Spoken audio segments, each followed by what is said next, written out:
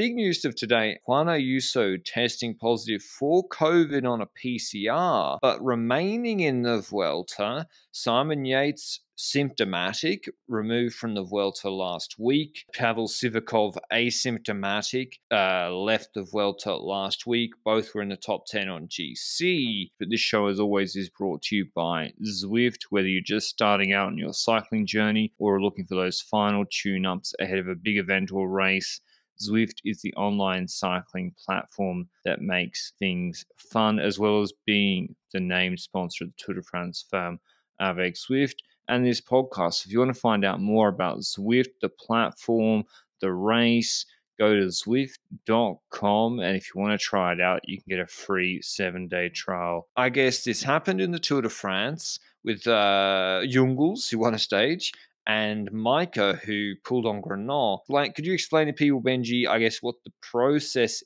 is and how it's working in ASO races? Because in the Giro, I don't believe this is the case. Exactly. Basically, just before the Tour de France, the UCI decided to change their policy in regards to COVID. And it wouldn't just be, oh, you're positive, you're out, you're negative, you can stay in. It's not just that anymore. When you do a PCR test, there's this thing called the RT PCR.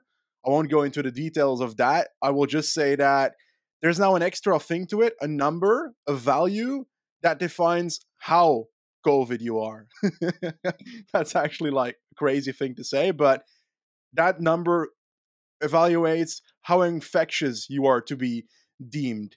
And that number is being decided by the amount of cycles in a process. So they're doing a, a, testing process on your PCR test, and the amount of cycles they need to go through with that process to find it viral enough to be considered positive and properly infectious and the less cycles necessary to get to that amount of virality needed to be considered that specific amount of virality. I don't know the specific threshold there. That means the higher your infection risk is. The lower the cycles, the higher infection risk. Heard from, I think it was Sam Bennett that said when he DNS because of COVID, that he was waiting in the bus and pinning his numbers just before the race, waiting for the results of his viral load which this number is called. And this value, um, basically, he was waiting still on that, and eventually he was out of the race. I don't know if he actually got that number before the race or he got that after he was already out of the race. So it's interesting. For some teams, it comes in in time. For some teams, it seems to come in just too late. But when it comes to UAE, the special thing is that Matxin came out this morning and he said, we've actually got our own PCR testing method or our machine in house that causes us to be able to analyze that viral load ourselves. Because of that, they were on time to be able to see when it comes to Ayuso that he was on paper not infectious enough. Once you figure out the viral load, you go to the UCI doctor, the organizer's doctor, and your own team doctor. Those three become like the the Doctor Avengers for a second, and they decide based on majority vote if you can start or not.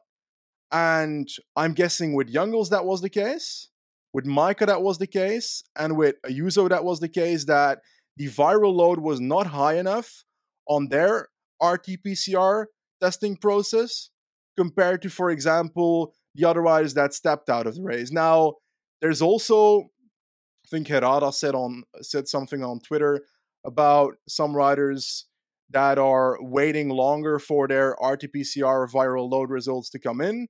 And the question there is then my take on this.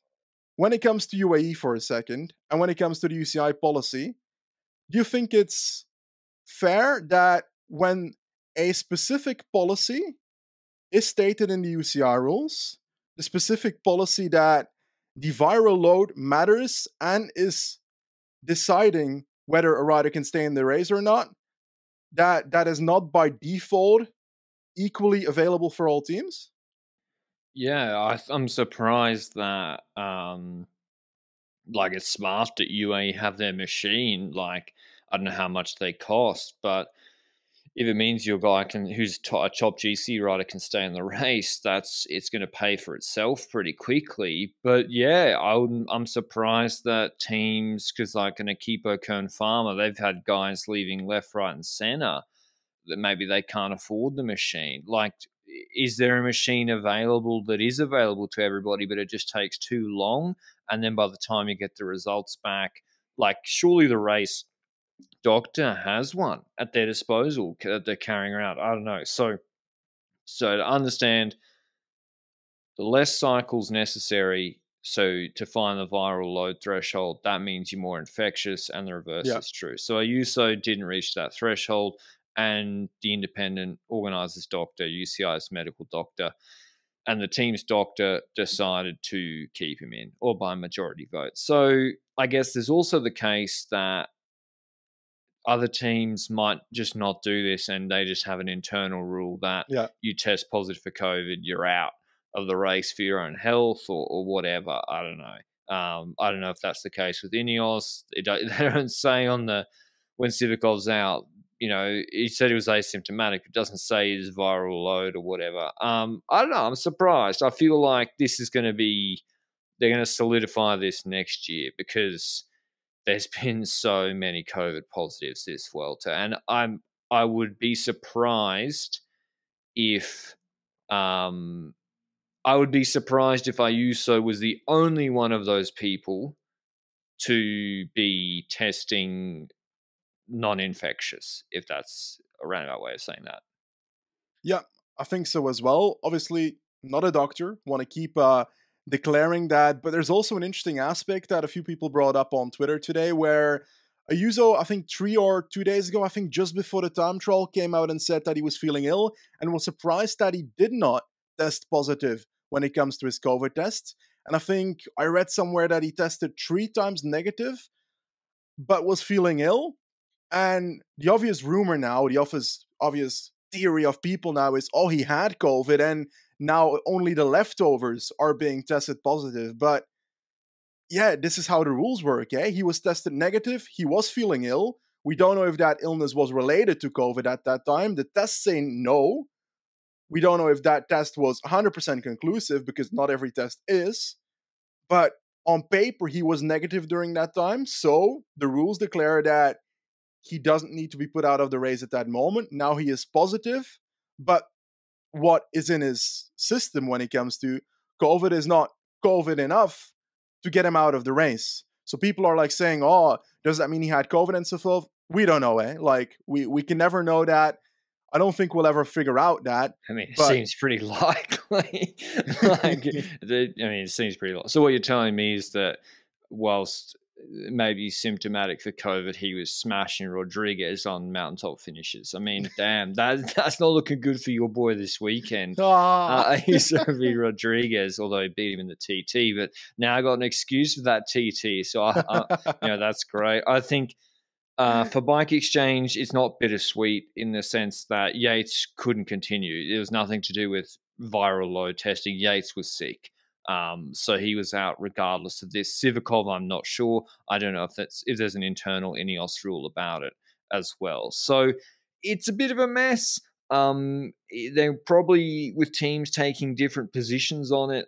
Even next year, there probably won't be. A, like it's clear that UAE have taken the position that if the rider wants to yeah. continue, they're not symptomatic and they don't breach the viral load threshold, they can continue like Majka and Ayuso in the Tour and the Vuelta, as well as AG2R with Jungels in the in the Tour de France. So, yeah, it's just uh, another sort of data point in how the sport is going to continue managing or not very well managing uh, COVID. But I don't know it seemed they got to sort out that that testing machine thing because it does seem yeah. unfair that the if the smaller teams can't access it, that half their team's gone without maybe you know benefiting from it. But yeah, any last thoughts on Ayuso Benji? I mean, I'm just going to assume his performance will be fine from here on out.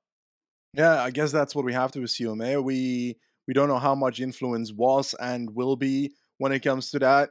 We will just see what he brings on those climbs, and I think it's going to be similar than the days we had before, unless he's at the at the precipice of getting proper COVID. That is just him getting into COVID. Then he might be out at a certain point. We don't know that. Let's hope he's not. Let's hope he keeps on kicking. Let's hope we see him on the road in the in a few days. One more thing I have that is actually a question. Like I don't actually know is we see that he is being tested as a positive right now, and this is not on a rest day, so this is an in-team test most likely. Now I'm pretty sure the rule says that teams only need to test on rest days now. If you're UAE, like, do you expect them to test every single day until that rest day still? Or do you expect them to just do the test again on the rest day? I think it sounds like they're always test. UAE mm-hmm. do tests every day, um, and did at the Tour de France. So it sounds like UAE have a sort of more onerous testing regimen for COVID than other teams, or than they are required to have, uh, which I guess is a good thing. Um, and so I'd expect them to to keep keep testing. Yep. What's what's curious though, Benji, is what happens if he keeps testing on the rapid test or whatever test they're using. He tests positive tomorrow, and as you said, just positive tomorrow on it.